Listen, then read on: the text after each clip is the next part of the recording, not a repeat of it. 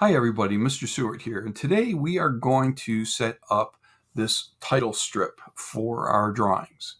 And uh, here's the steps we're going to use. We're going to start a new drawing. We're going to save it as title titlestrip.dwg. And uh, something I didn't put on this sheet, but we are going to insert our base drawing into this so that we get the layers that we want. So let, uh, let's do that first, okay? I'm going to start a new drawing. And I'll get rid of this dialog box. I don't need that right now. And then the next thing is I'm going to go to Insert here. And I'm going to hit Block from Libraries. And I'm going to go into my block from libraries. And I have looked for this earlier today, so it's already here.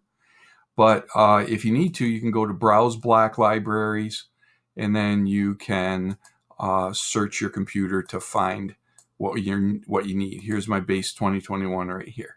I'm going to hit open. Now I go here and I just double click on this. And then when I bring my cursor out, it says specify my insertion point. And my insertion point is going to be 0, comma 0. And I hit enter.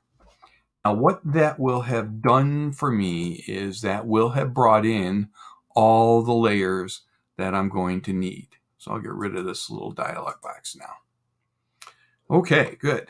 So next thing, it goes, uh, we're going to save it as title strip.dwg. So right now it's called drawing 15, um, but we are going to go up to save as and click on that. And we'll navigate to our EGR folder that we've put onto our flash drive. And right here is where I've got mine. And we are going to name this title.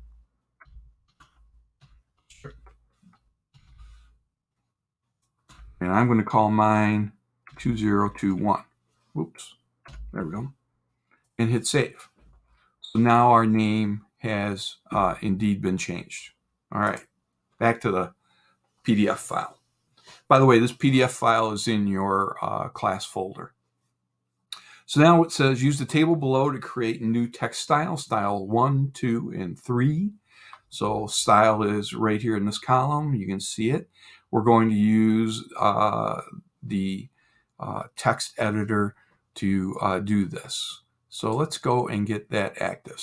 Right here where it says annotation has a down arrow, we're going to click. And then I'm going to click on this little letter A that has a uh, like a brush next to it. And that brings up this text editor. And there's a couple different text styles in here already, one being annotative and the other being standard. We're going to use the annotative one. And I'm going to say new. And it calls it style one for me, names it. And I'm going to go back to my uh, PDF sheet here. And I'm going to see that the height of this text should be 0.25. It's Romans S with a width of 0.6. And that's for style one. So I'm going to click where it says font name here, and I'm just going to type the letter R. You can scroll down through this if you want. It's alphabetical, but it's much easier to just do uh, what I just did with typing the letter R. Here's Romans S. My height is going to be 0.25, and my width factor is going to be 0.6. And I hit apply. I'm going to put in a new text style. This is style 2. I'm going to go back to the PDF. Style 2 is 0.125 Roman S and uh, width of 1, and that is style number 2. All right, so Roman S is already here. I'm going to have to change my text height to 0.125, my width factor to 1, and select apply. Last one, new, style 3. I'll say OK. Check the PDF. Uh, style 3 is 0.25 Roman C, width of 1. So change my text height to 0.25. The width factor is 1, but my Romans here changes to Romans C. And I hit apply and then I close.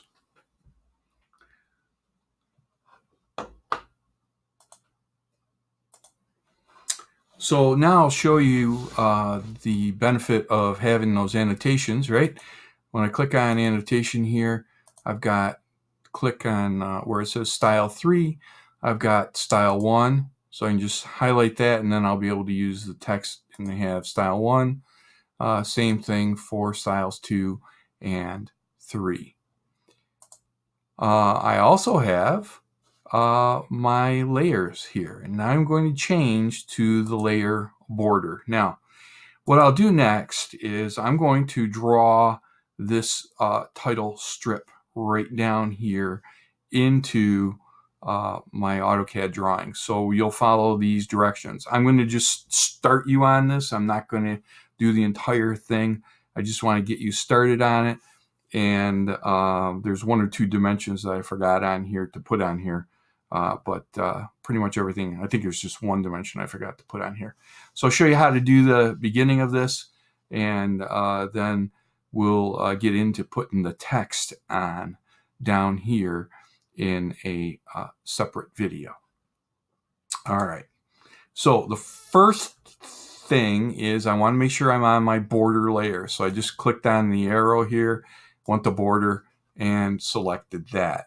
Now I'm going to use the rectangle tool and I'm going to put my first corner at 0 comma 0 and I'll hit enter and my next corner is going to be at uh, the x value of 10 comma and the y value and this is the dimension I forgot of 1 and I'll do a zoom extents z enter e enter Okay, now here's what this is. This is a polyline. Uh, you can see maybe that it has the word polyline next to it. And uh, polylines are really quite useful because this is one entity. I could do anything I like to it right now. It will edit as one entity, but I don't want it to be one entity.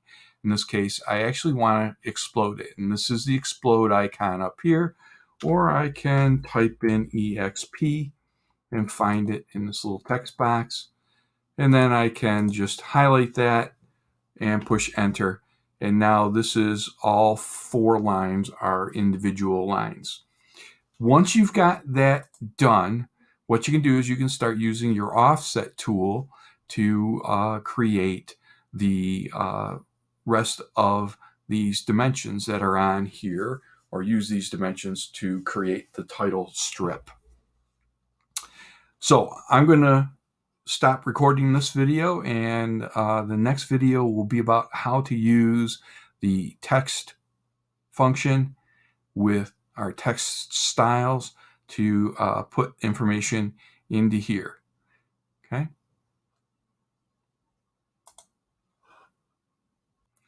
Okay, we have one more thing we need to add to this title strip, and that is a block of uh, space up here above where the text is going to go. So I'm going to use my rectangle tool and uh, I'll go to, oh, get my rectangle tool going here. There we go. I'll go to this intersection uh, right here. I'm going to click, I'm going to pull this out and you'll see the top value is 7.89 right now. It's in blue. I'm going to put 10 there. And then I'm going to hit the comma. And uh, for the height, I'm going to put in 6.5. And I'm going to hit uh, enter. And that adds this box up above my title strip.